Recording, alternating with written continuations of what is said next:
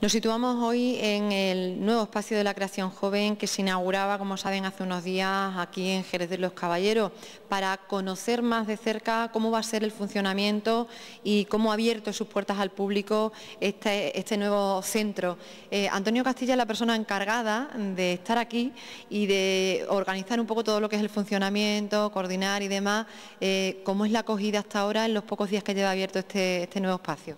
Bueno, pues está bastante bien porque el primer día hubo, después de la inauguración, que se hizo por la mañana, por la tarde hubo bastante acogida, estuvieron sobre 70 80 personas aquí, vamos, que estuvo bastante bien.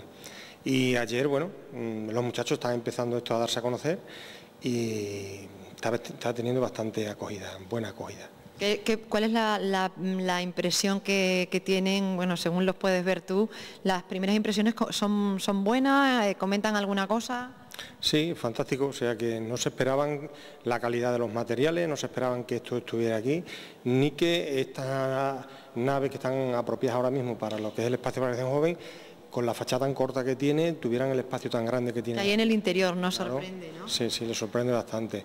Además, la calidad de los materiales, la sala de música, que es excepcional, tiene un estudio de grabación profesional con materiales, ya te digo, de primera calidad y bueno, pues están sorprendidos de lo que ven aquí. Bueno, la que se le dé buen uso, ¿no? En este caso, nosotros lo que queremos es conocer un poco los distintos espacios, aunque lo veíamos ya en la inauguración, pero conocer para que tú nos expliques cuál va a ser el funcionamiento concreto de este centro y de cada uno de esos espacios. Ahora mismo estamos en lo que es la, entrada, donde además, eh, bueno, pues hay una, parte dedicada a exposiciones. Correcto, esta es la sala de exposiciones y además el ambigú, porque tenemos wifi, entonces los muchachos pueden estar aquí disfrutando de sus móviles, de sus portátiles y echando el ratito aquí con sus compañeros, disfrutando de esto, además de las diferentes exposiciones que se puedan ir colocando en la sala esta.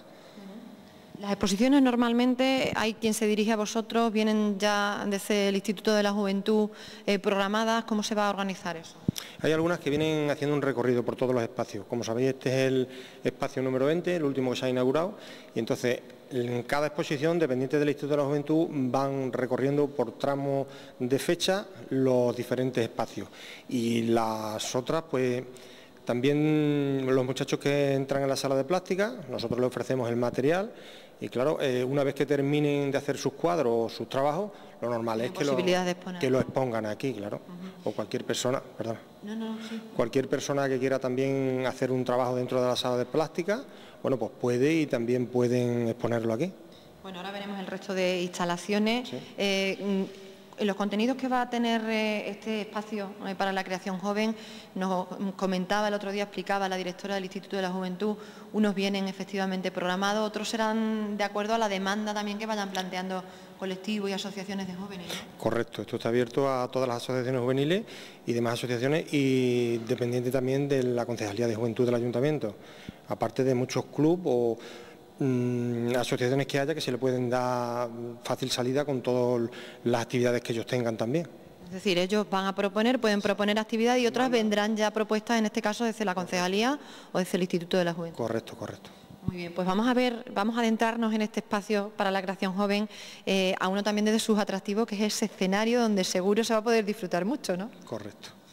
Bueno, estamos en lo que es la nave central de este espacio para la creación joven, con un escenario que el otro día me imagino ya se estrenó mm. con esa serie de, conciertos, quizás uno de los lugares también atractivos por todo lo que se pueda ofrecer al público joven. Pero eh, lo que queremos saber para todas aquellas personas que puedan hacer uso, un buen uso, que es lo que se espera, que este centro se llene de, actividades, de gente joven que demande y que utilice esa creatividad. Mm, si vienen aquí, ¿qué es lo que necesitan? ¿Qué requisitos? ¿Qué es lo que pueden encontrar? Las franjas de edad de los espacios son de 14 a 35. Eh, cada persona que entre, lo primero que tiene que hacer es apuntarse, porque tenemos que llevar un control de registro de visita. Y una vez ahí, bueno, pues dependiendo de lo que quieran ellos realizar, que quieren con un grupito de música, quieren utilizar la sala de ensayo, pues se le apuntan una reserva que tenemos y ellos vienen y disfrutan de la sala de ensayo. Que necesitan utilizar audiovisuales, con que pasen, se apunten y entren en la sala de visuales, mm, está. Eh, que quieren disfrutar de la sala de plástica, bueno, pues me piden los materiales que necesiten y si los tenemos se los ofrecemos. Tenemos maletines con óleo, tenemos eh, toda... Todo el material necesario para poder disfrutar y poner en práctica ese, arte, ¿no? En este caso, en una de las salas que está aquí, que si te parece, la, podemos ver porque, bueno, tenemos también eh, lo que es una sala dotada de equipos informáticos, pero vamos a ver primero esta, que es la que te estás refiriendo tú, está aquí al lado de este escenario y es una sala en este caso que estaba preparada pues para poder poner en práctica lo que son las artes plásticas, precisamente, ¿no? La pintura y el, dibujo, ¿no? Claro, tenemos caballete, tenemos todos los materiales necesarios para que ellos puedan venir y disfrutar. Eh, ¿Se van a marcar unos horarios o mm, dependiendo de la demanda habrá que ir eh, diciendo reservar esta sala a la otra?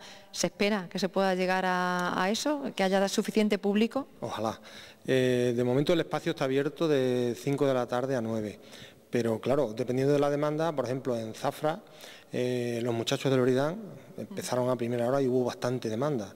Lo que entonces solicitaban ellos era un parque una tarima flotante. Claro, dependiendo de la demanda, pues vamos nosotros haciendo solicitudes.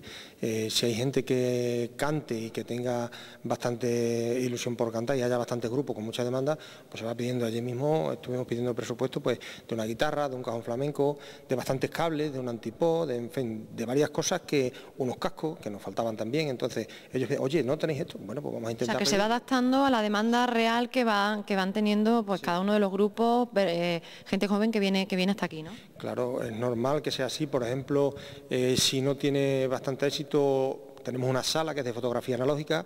Si no tiene éxito, es una tontería gastarse un dinero en, dotarlas si no funciona. ¿no? Entonces estamos ahora mismo consiguiendo que con la demanda maximicemos el, gasto que vayamos a hacer. O sea que digamos que es un espacio que se va a ir adaptando eh, bueno, pues a todo lo que los jóvenes concretamente de aquí de Jerez porque bueno, las experiencias serán diferentes en el resto de centros, ¿no? en el resto de espacios, cada uno serán, eh, funcionarán eh, pues de acuerdo a lo que el público joven de cada localidad vaya demandando. En este caso, en Jerez acaba de empezar, habrá que ir conociendo, habrá que darse tiempo. Con respecto a la experiencia que hay en otros centros, mm, ¿en cuánto tiempo crees tú que la gente puede estar habituada a conocer lo que es este espacio de la creación joven y a utilizarlo con normalidad?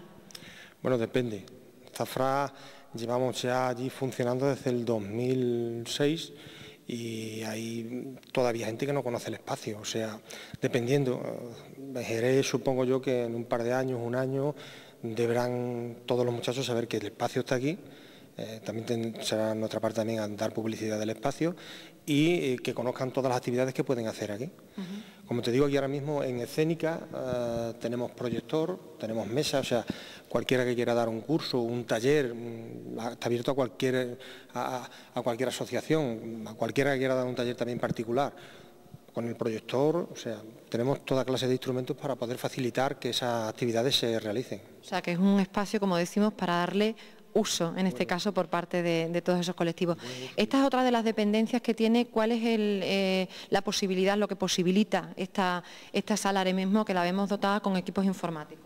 Bueno, pues esta es para los jóvenes que, puedan entrar en sus redes sociales, que puedan hacer trabajos del colegio, visitar cualquier página que quieran ellos de trabajos que tengan que realizar.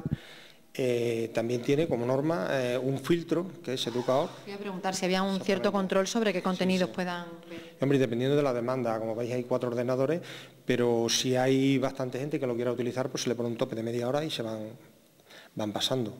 De momento, si está libre, lo puede utilizar cualquiera. Eh, ¿Qué tal funcionan los horarios en los que se ofrece eh, este espacio abierto a, toda esa gente? Hombre, por parte de las asociaciones ya nos han dicho que le quedan cortos, le queda corto que de 5 a 9, pero bueno, el horario es flexible, dependiendo de las actividades que se hagan, ya podemos funcionar con el horario dependiendo de esas mismas actividades, ¿no? Se irá viendo, me imagino, también con la experiencia. Hay que irse adaptando, hay, con mucha flexibilidad, pero hay que irse adaptando a las actividades y a todo lo que se haga en el espacio. Bueno, vamos a ver el resto de dependencias, si te parece. Sí, sí. Bueno, este es quizás uno de los sitios que más gusta porque además aquí en Jerez hay mucha afición a, la, música. ¿Qué posibilidades ofrece, en este caso, a quien quiera eh, hacer uso de esta instalación, de esta sala concreta? Bueno, pues como estáis viendo tenemos materiales de primera calidad, eh, tenemos mesa de 16 canales, esta es electrónica y tiene su es digital, una mesa digital y tiene su, su CD para que cada grupo si quiere salga con su maqueta hecha. O sea, tenemos guitarra, tenemos bajo, como estáis viendo hay batería, los amplis de la guitarra, del bajo, tenemos un teclado también. Como te comenté antes, estamos pidiendo también más material que nos solicitan los muchachos. Y bueno, cualquier grupo que quiera venir a tocar al espacio tiene la posibilidad de llevarse su maqueta hecha. O incluso ensayar, si a alguien le gusta tocar la guitarra y en su casa, pues bueno, como sabéis, siempre no a todas horas, a todas las horas puede tocar tranquilamente, aquí tiene un espacio para disfrutar de. Sí, además es una sala eh, totalmente insonorizada, aquí sería la sala de, grabación y aquí es donde podrían poner en práctica también esa sala de ensayo a la que vamos a pasar por aquí para, para poderla, poderla ver porque me imagino que será una de las cosas que más, que más guste eh, quizás aquí, ¿no? Hay mucha gente aficionada al mundo de la música. Lo que sí nos comentabas también que todo esto, lógicamente, eh, hablamos, mm, tiene que estar abocado al buen uso, hay un control en este caso de todo registrado, de todo el material que se, que se ofrece o que se presta, en este caso, a cada uno de los jóvenes que vienen. Correcto, por su valor y bueno, pues que hay que mantener las instalaciones. En la época de crisis que estamos, bueno, sabéis que hay que todavía mirar más el material, entonces eh, cada grupo que entra se le presta el material, se le apunta el material que se le cede y luego a la salida de su hora, porque tiene una hora reserva, a la salida de su hora mm, recojo personalmente el material que, devuelve. Entonces hay que llevar un control porque esto nos tiene que durar bastante tiempo eh, y hay que utilizar bien el espacio, mucho pero bien. Bueno, eh, no sé si nos queda finalmente hacer una invitación a que, sobre todo a la gente ahora que venga y lo conozca, que sepa un poco el funcionamiento, ¿no? Para empezar después a, saber, bueno, qué posibilidades ofrece, ¿no? Claro, tenemos en mente hacer un, día de puertas abiertas, donde habrá una serie de actuaciones que están, previstas ya y bueno, pues darle a conocer a todos Jerez y pueblos colindantes pues que vengan a ver el espacio y que disfruten de esto, o sea que le den, que le den bastante uso. O sea que una vez que tenemos aquí este regalo, que yo lo considero como un regalo porque es importante en esta zona tener algo para la juventud, em, darle buen uso y que todo el mundo pueda disfrutar de esto. Bueno, se pedía ¿no? Eh, que hubiera un espacio donde la gente joven pues, pudiera poner en valor todo ese espíritu creativo, de ahí el nombre también del espacio, para dar rienda suelta a todas esas actividades que llenen su tiempo de ocio y, ¿por qué no?, eh, pensar en un futuro también a partir de aquí, ¿no? Eh, ir poniendo en práctica esos valores y, ¿por qué no se puedan desenvolver el día de mañana, pueda ser esto una plataforma de, de lanzamiento, de inicio, ¿no? Pues sí, mm, concretamente en Zafra, eh, cuando empezamos, había muchachos que estaban bailando en el cine, o sea, en, las baldosas del cine. Cuando tuvieron la oportunidad de disfrutar del espacio con el Bridán, eh, ahora mismo están en concursos internacionales, o sea que... Tiene su lugar de ensayo allí. Exactamente, grupos de música que empezaron cuatro amigos y ahora están tocando por ahí en muchos pueblos, o sea que...